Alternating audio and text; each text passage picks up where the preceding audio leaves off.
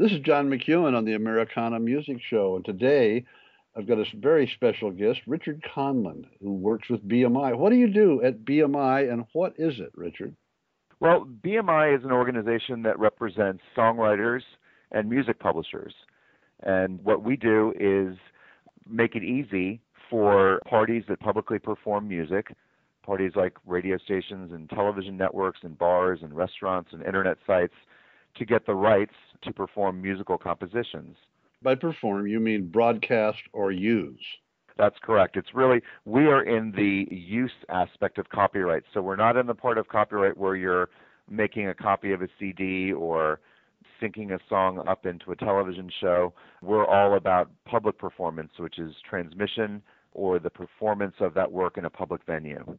Uh, this is an interview that's a lot for people in the music business or beginning, but also for people that are listening that don't know the mysteries of what happens to who makes the money. I was told in 1967 that publishing is a real estate of the music business. That's a great analogy. Basically what happens for a songwriter and or a music publisher is that they have a recurring revenue stream and I'll speak specifically to what we do here at BMI. One of those revenue streams is this right of public performance.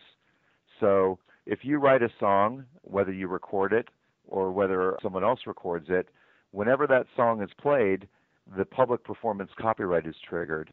And what we do as a service business is make it easy for the parties who perform that work to get a license. We have six and a half million works in the BMI network. Are they all songs? Some of them are songs and some of them are cues. Some of them can be background music. BMI, for those that don't know, for those listening, means Broadcast Music International. And what that means, folks, is that when music is broadcast, meaning when it goes out in the air, is when you can hear it, it's international. So BMI collects money from people that broadcast music and sends it to the publishing company who splits the money with the writer in however that deal is set up. There's almost as many different types of deals as there are songs. I think what's really kind of interesting about it, with the Broadcast Music Inc. does work internationally, where we, we do represent the rights that were granted by our writers and publishers all around the world. And basically, we're we're sort of the piece in the middle between the person or the business that's broadcasting or performing that music and the person who created it. And what we do is make sure that when that money comes in, that we track the performances. I'll tell you, being... Richard, just so people understand, you said cues. Now that means music cues. When you're watching a TV show, folks, and there's a bunch of music behind it, it's going to be a company such as BMI or the I don't know if you call ASCAP a competitor, but I'm, I'm looking at a at a uh, BMI royalty statement right now, and I have a lot of music cues out there, and it is absolutely fascinating to see that the Garden Show in Australia used a piece of my music, and BMI collected eight cents for 20 seconds use nine months ago. And, you know, things like Jimmy Kimmel used a piece of music last year and it collects a dollar fifty that gets reported to BMI and and it's it's amazing where these income streams come from. And you guys do that.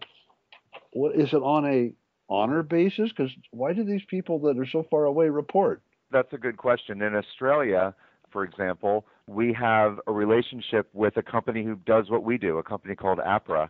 And we have a relationship where they represent BMI works and take care of BMI works in Australia and track their use and license them. And then they remit the money back to us so that the writers can be paid. And how about Europe?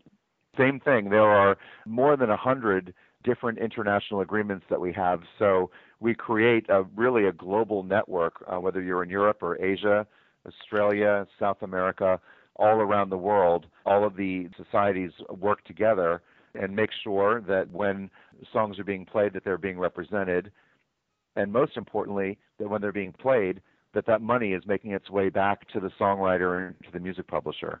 And that's a fascinating thing because just so people know, you're talking about the fee that a TV or radio station pays out every year based upon the size of the station and the reach. Is that correct? That's right. We have different types of fee levels, but basically it all gets back to either revenue or audience size, and then the fees are the fees are assessed based on based on one of those factors. That's that's right. Is it public knowledge what NBC would pay for their BMI licensing fee for a year? Uh, no, it's not. Okay. Would it be okay to say what it, if I do a song on NBC, say on the Tonight Show, which is prime time, which is considered what 6:59 to 11:59? Mm-hmm. What would that song earn? I don't have that number in front of me, but it Well, can I- be. I've always heard that currently it's about forty-four hundred dollars. That sounds about right. that sounds about right. So, and I've always, when I try to explain BMI to people, I would go back to the reference the 60s, 70s, and how Johnny Carson and Paul Anka wrote the Tonight Show theme. And since they wrote it and it was used at the beginning and the end of the show, and the payment then was like 2200 per use, that every night Carson and Anka were splitting up about $4,400 and a BMI or ask, I don't know if it was BMI or, or how it was paid, but that is a clever thing, isn't it? I think what happens is that writers say, "Gosh, maybe I won't take as much money up front, and I'll, I'll work as you you used the real estate analogy before, which I think is so is so right on. That uh, the writers say, "Well, I'll put my work into you know in this case into a television show, and uh, if the show takes off, then it's it's a hit, and and, and it can it can be lucrative." And if you have, for instance, the theme to a comedy like Welcome Back, Kotter, I would estimate that that made more money for John Sebastian than some of the Lovin' Spoonful hits. That's very possible, yeah. Because you figure it's a big catalog business. You know, when you think about music, people might think, "Oh gosh, it's just about what the hits are," but the whole thought in, in publishing is that it's about catalog and it's about television shows and it's about music that just plays for a very long life cycle all over the world. And it's a business of pennies, but they add up. And what he, what he's talking about, we're speaking with Richard Conlon at BMI, who's uh, pretty high up the food chain there, aren't you, Richard? I manage our corporate strategy and our digital revenue streams and our communication effort. So I'm uh, I'm, I'm lucky to be having a lot of fun here. So what you're referring to about the inst- income streams that build up, I've been told that, for instance, "Suicide is Painless," the theme to MASH, could very likely still be earning, even though it's so many years after. Well, when you walk into a, you could walk into a hotel in London, Sydney, Australia, Tokyo, LA, anywhere, and within a certain amount of hours, you're going to see a rerun of MASH in any one of those places today. Don't you think that's a likely situation? Uh, absolutely, absolutely. I mean, that's where, um, again, it's this whole catalog effect, and and I think something that we're we're so lucky about in the U.S. is that we export so much entertainment, so much uh, musical content um, that it, it it it extends that it extends the life cycle. And it's interesting because when we are um, tracking and and processing these uses around the world, we have to know, uh, for example, that um, the which episodes of which songs are, of which TV shows are being played. Mm-hmm. Um, and secondly, what they are like I Love Lucy episode 42 might be called something very different in Italy than it might be called in Germany, and it might be. Um, so, and we have to have all of that information in our database to make sure that we're associating episode 42 with with that play that took place in Italy at such and so time period, uh, to make sure that, that that all of all of the interested parties are, are are getting their fair share. Well, in my comment about MASH, I'd heard that it's very likely it could still be earning the writer 30 years later to about 2,000 a week from the collecting of all these worldwide income streams. That's that's possible. I don't have that one on the tip of my head, but um, Well, but it is it is possible to have a long term annuity, um, you know, c- coming out of these rights. uh, how about just getting right to the bone? Uh, a number one hit on country radio that goes to number one and has a 14, say 12, 14 week life.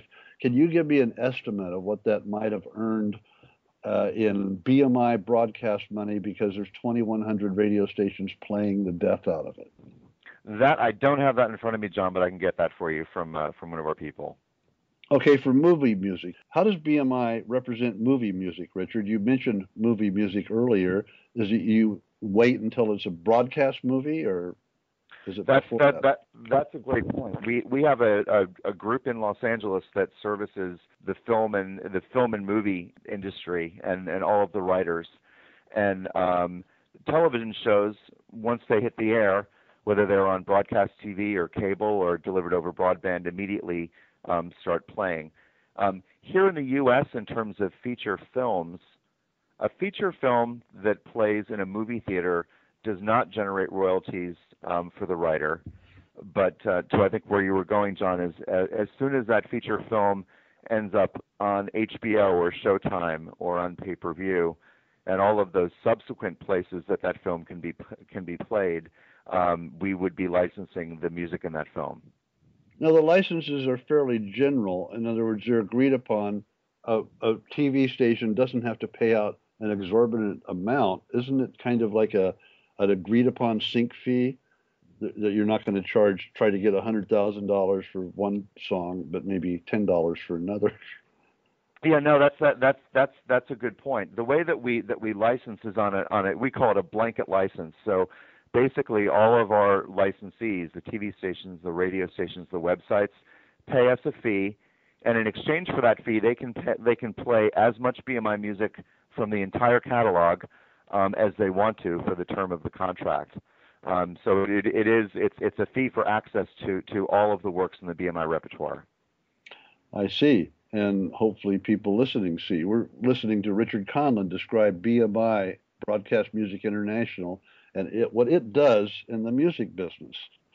And the licensing you're talking about for movies, just so people don't think the poor writer didn't make anything for getting a song in a movie, that's a different fee called the sync fee or synchronization fee, where a movie company that wants to use What's Love All About in the movie called What's Love All About might pay as much as $200,000 to use that in the movie. That's where the guy will make some money up front. But the use of that movie later on as a broadcast will be tracked by BMI and he'll collect the licenses he just spoke about. Well, in, in your opinion, since there's so much talk about the state of the music business and CD sales are down, that doesn't really reflect on you, the sales. But do you feel like BMI is growing or the music business is?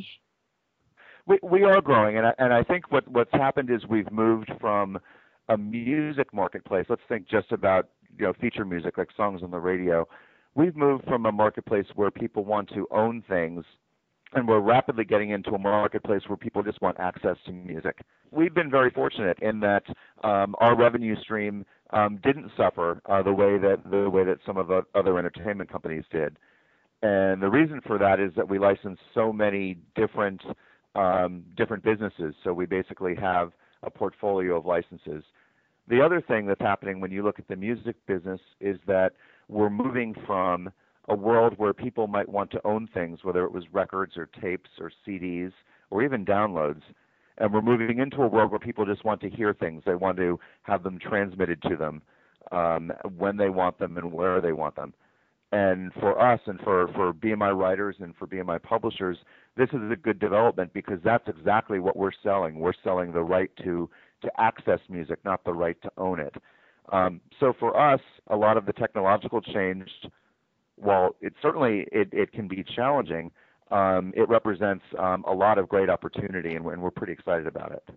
Tell me the BMI argument about the guy that says, I uh, the, uh, the woman or man that says, my beauty shop, we're just playing the radio in our beauty shop, and it's we of course it's an FM station that has all Barry Manilow and Barbra Streisand music, but why do we have to pay BMI a fee to do that?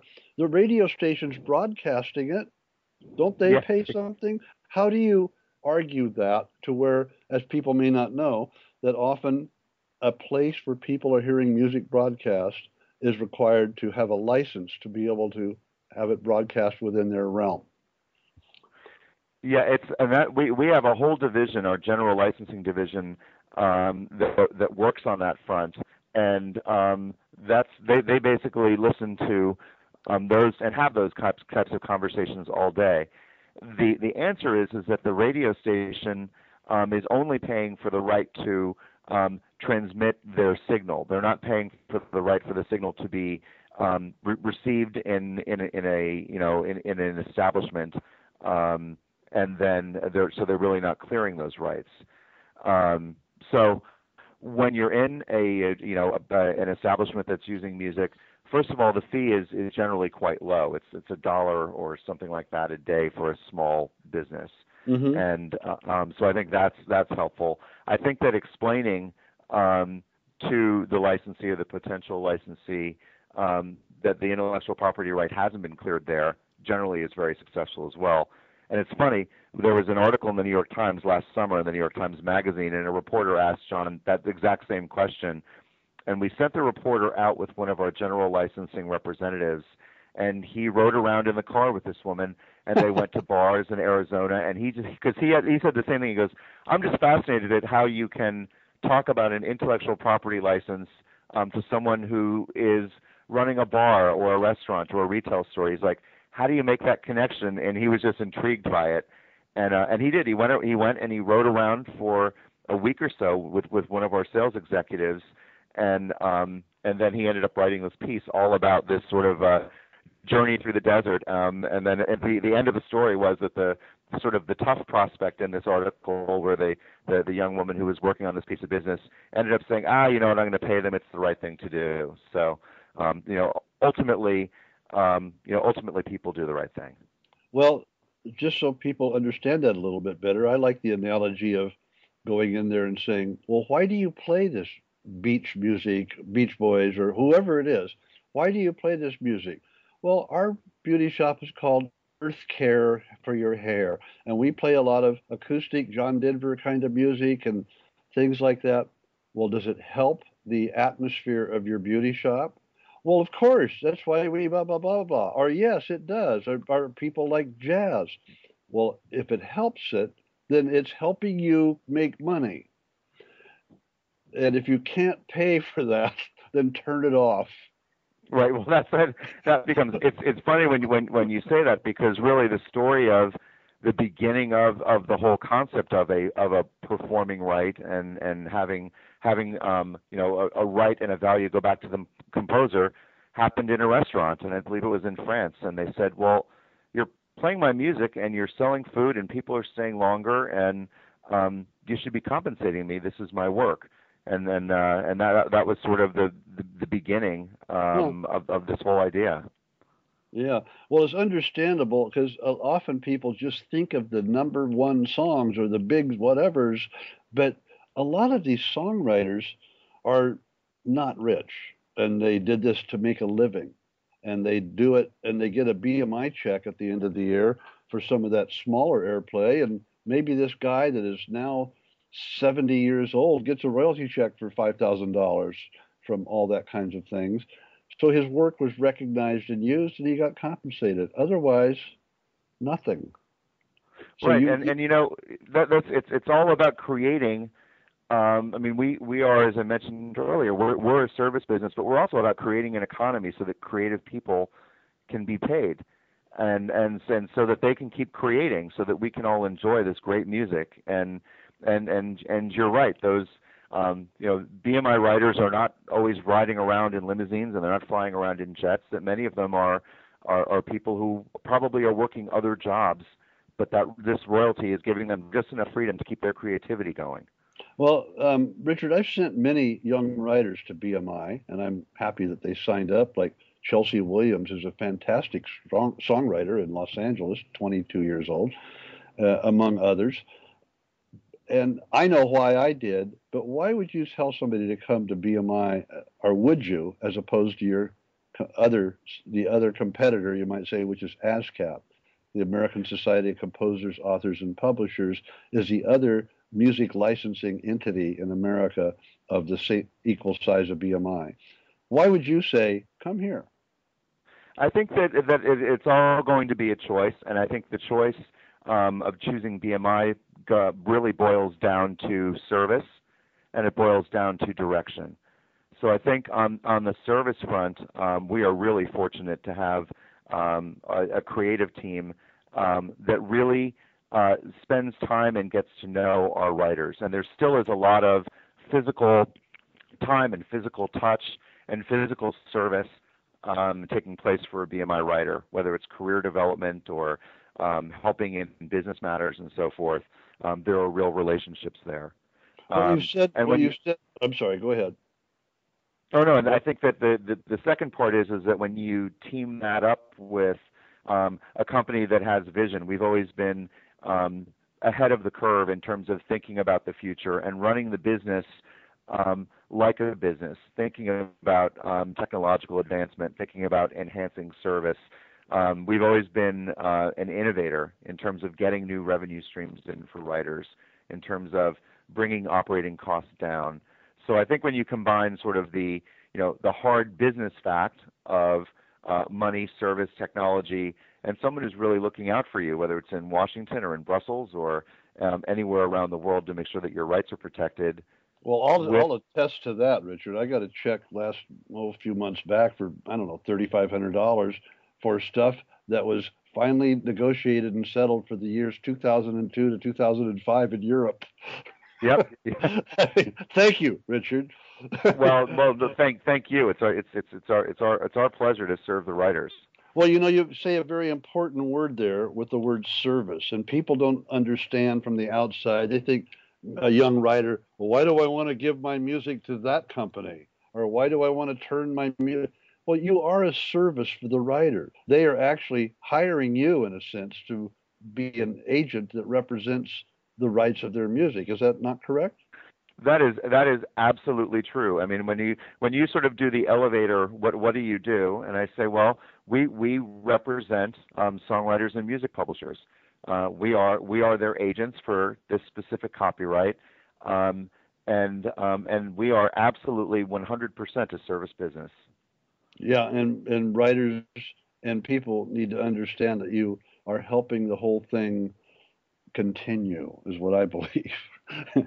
Right, right. Whether what you know, whether it's um, getting deals for streams or whether it's when there are public policy issues, when there are copyright issues in Europe or copyright issues here in America um, that could impact the value. It's, it's all about that service is tied to value. That we value creativity and we value our writers' rights, so that we are we're, we're always advocating for the right public policy to take care of our writers and publishers. and it's good for all. And it started quite a while back, just so our listeners we're listening to Richard Conlon, who is uh, a pretty big cheese at BMI, Broadcast Music International. How long has it been around? BMI uh, was founded in 1939, and we opened our doors in 1940. Couldn't find any doors for a while. Right, right. yeah, it took yeah, it took took took a few months, I guess, to get the get the paint to dry. Um, but yeah, we, we we opened for business in New York City in in 1940. So we're we're pushing 75 years old. Wow. And were the early administrators or organizers, were they involved in the music business as writers themselves? Like, you know, United Artists with Mary Pickford and Douglas Fairbanks? Um, early on, BMI was founded by the broadcasting industry. Ah, and so it's it's a, actually a, a great story because um, at the time there was only one rights organization in America, and um, they had proposed a um, significant rate increase for the radio industry, which was sort of the bulk of of the business at that point. mhm. And the radio industry said, "Gosh, you know what? There's I, I can only get rights to a, a, a pretty specific, discrete catalog to play. Number one, and number two, and now they want to double or triple my fees. So the broadcasters created their own company, and Broadcast Music Inc. was founded, um, amassed a repertoire um, of music which wasn't being represented at the time. So culturally, um, our company is often credited with really contributing to the explosion of country music and soul and R&B and jazz, all of these forms of music that the society that was was there before us uh, wasn't representing were represented by BMI and they found their way to the airwaves and uh, so creatively um, there was there was sort of a, a huge Big Bang theory when the company was formed that we played some role in unleashing new forms of American creativity in the music scene. Is the publisher Peer International a BMI company? Yes, I bring that up for a reason because Peer has a lot of the music you just described, the other race music of the 20s, as they called it, and and eclectic music and bluegrass and gospel and things of that nature. Peer International has Foggy Mountain Breakdown. That's why I know about Peer. You know. no, So- that's, that's and Peer was there from the beginning with BMI too. So yeah, Mhm, Yes. I've, I've tried to draw that out of you. uh, let me say this about BMI that although your competitor, which I hope you don't mind me mentioning, uh, American Society of Composers, Authors, and Publishers, its current president is Paul Williams, the guy that wrote We've Only Just Begun and a lot of other stuff. But BMI has songwriters up there too. Del, I mean, Del Bryant is the president of BMI, and his father wrote Rocky Top and Cathy's Clown. Well, his father and his wife, Felix and Boudleaux Bryant, and uh, a bunch of the Everly Brothers hits. And Del, I'm, does he write songs? Dell, Del is, is, is a poet and a writer as well, and uh, he had a charting country song. And uh, Del really grew up, um, as you mentioned, um, as a son of songwriters. So he, um, his heart um, and his life, um, you know, certainly is that um, of a songwriter. So he brings that creative perspective to our management team. I bring this up because people that are looking at BMI, if you walk by the building in Nashville or New York, it's pretty imposing. I can't get in there. That's too big of a business. I'm not even sure what it does. And so they know that it's run by people that are writers, for writers. And where can people find out about that? Well, BMI.com is a really good start, and uh, there, there's a lot of information there. so, and also, I've, I've got to say, we were for we, we had a meeting down in the Nashville office a few months ago mm-hmm. uh, with all of our employees, and uh, the opening comments were um, it was a BMI town hall meeting, but we think of our Nashville office and our New York office as being a songwriters town hall. So, mm-hmm. uh, and it might, the building might look big from the outside, but the door is always open and um, we we believe that it's a place that that it, it is a songwriter's home because that's that's what we're all about. And you help that continue. Um, well, I'll tell you, I've really enjoyed talking with you, Richard, and I hope we can spread the word of BMI and get some young songwriters. Because I tell people, I mean, I've spent 45 years with the Nitty Gritty Dirt Band, and we're still spending years uh, running into people on the road saying, "Well, I've got some songs. What should I do with them?" I says, well, go find out about BMI because if you don't, you're just why why bother? I mean, if you're selling cars, you, you have a car lot, and you put signs up, and you expect to make some money from it. If this is your living, find out about it. At BMI.com, you can find out about it. What is there any one thing you'd like to impart to listeners that are curious about the music business and BMI licensing? Anything? Well, you know, I I I just think that uh, we we were we're thinking about another company that shares our initials. We were having a chat the other day about changes in the music business, and IBM turning 100 um, kind of gave us a moment to think about BMI at 100 and about changing to meet the needs of markets, and how sometimes when a thing seems like things are changing at an out of control rate, that really they're not and that we're we're just really excited about watching BMI turn 75 and as markets change and creativity changes the function of supporting writers doesn't change. And that's that's what we're committed to um, supporting our writers and supporting our licensees. So um, we might look different and you know it might smell a little different but it's going to be that that same function for for BMI at 100 just as it was um, and is for IBM well, traditionally, BMI has monitored music that's broadcast on TV, radio, or listened to in barbershops or uh, restaurants, but there's new places. What is it doing about websites? BMI has been working in, in the digital sector for more than 15 years, and we did the first company to offer licensing for the internet, and we did the first. It's a fast-growing business. We've made um, about 100 million dollars um, in the last 10 years in that business, and we believe we're going to make the next $100 million in three years. So uh, we have about 7,500 uh, licensees um, that are that are covered, digital properties that are covered by BMI licenses, um, and it's an area where we've we've we've aggressively gone after the market to to service them. We've put together um, online licensing utilities, so you can actually go online and, and get your own license and um, pay your fees 24 hours a day. Um, you can get access to videos and tutorials on, on what we do and, and, and sort of help you help yourself as a licensee navigate um, through um, all of the steps that you need to go to um, or go through in order to get a license. Um, so we, we're, we're very heavily involved. It's a business that uh, I actually was was very fortunate to have begun here at BMI. So uh, wow. we, we we've been at it for a long time. Well, how do you address the plethora of videos with music on YouTube? and nobody's paying a licensing fee. I mean, to me, if it's a piece of my music and somebody's playing it on YouTube, I'm fine with it because it's great promotion, and people will be led to buying it, which will mean a mechanical fee on the publishing. But what do you think about that?